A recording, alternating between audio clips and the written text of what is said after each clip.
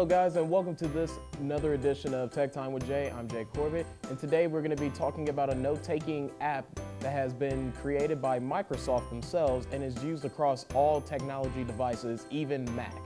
The app is called Microsoft OneNote, a special note-taking app that you can use for classes and for your daily activities. So let's take a look at Microsoft OneNote, shall we?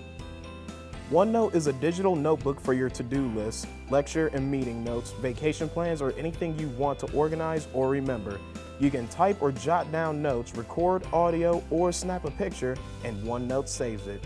Your notes sync across your devices so you can access them wherever you go. And you can easily share your notes with others.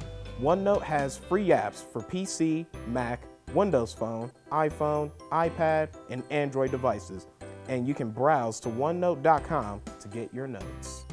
Well, that's Microsoft OneNote for you guys. Microsoft OneNote was created for specifically taking notes and possibly even using it for classes. I personally use it for all my classes that I continuously go to at Otterbein University.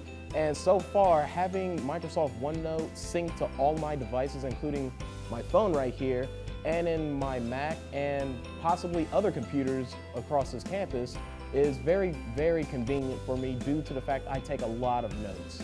So with that being said, I'm Jay Corbett. This is Tech Time with Jay. You guys have a great week.